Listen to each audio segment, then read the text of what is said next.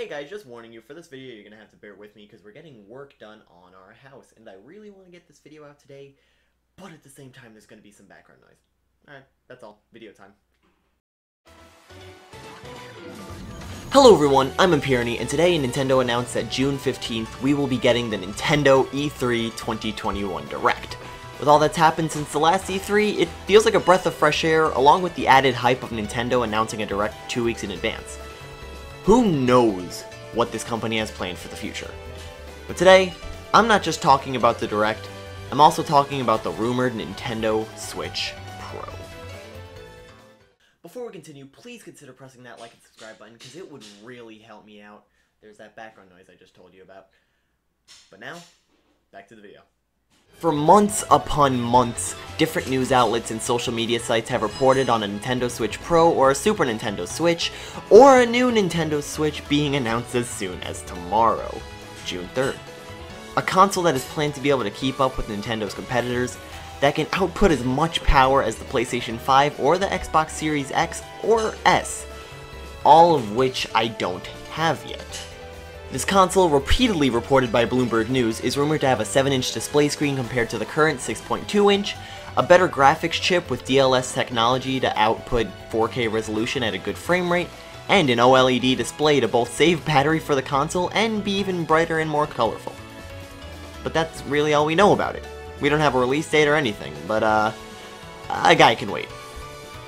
Back in March, the Switch turned 4 years old, which would be about halfway through most consoles' lifespans, and along with the release of the previously mentioned 4K consoles, now is a better time than ever for Nintendo to come out with their own 4K counterpart.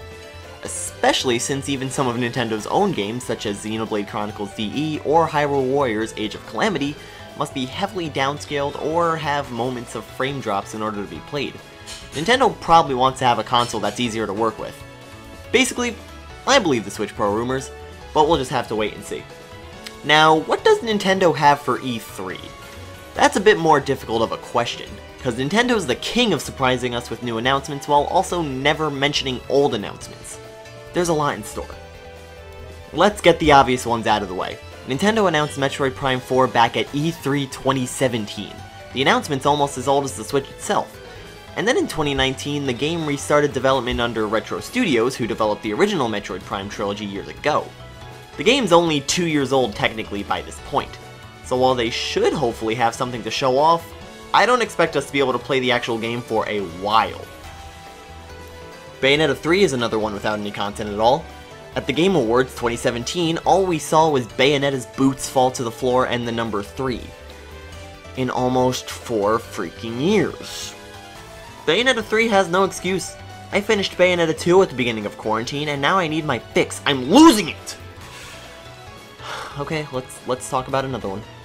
Nintendo also announced Breath of the Wild 2 at E3 2019, but all we got was a cool teaser trailer. Still more than we got for Bayonetta 3.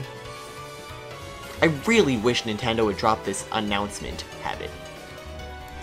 Now, what do I predict or at least hope is announced at E3? Just a few things. But the Prime Trilogy remade, both Smash DLC fighters, some Splatoon 3 info, something Zelda related so they actually talk about Zelda's 35th anniversary. I'd say Silksong news, but it's never gonna happen. A new Donkey Kong Country game, and hopefully a new Mario game?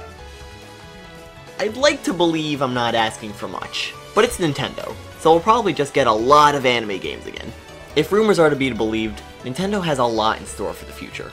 Hopefully we start getting details on the Switch Pro, some updates on the announcements Nintendo haven't mentioned in years, and just some good old-fashioned Nintendo content. There's a reason I love this company despite some of the stuff they do. They always keep us on our toes. But for now, we must wait. So remember to like, comment, and subscribe because it would really help me out. And pop in some of my streams, but they're pretty random when they happen, so be prepared. I'm a Empirony.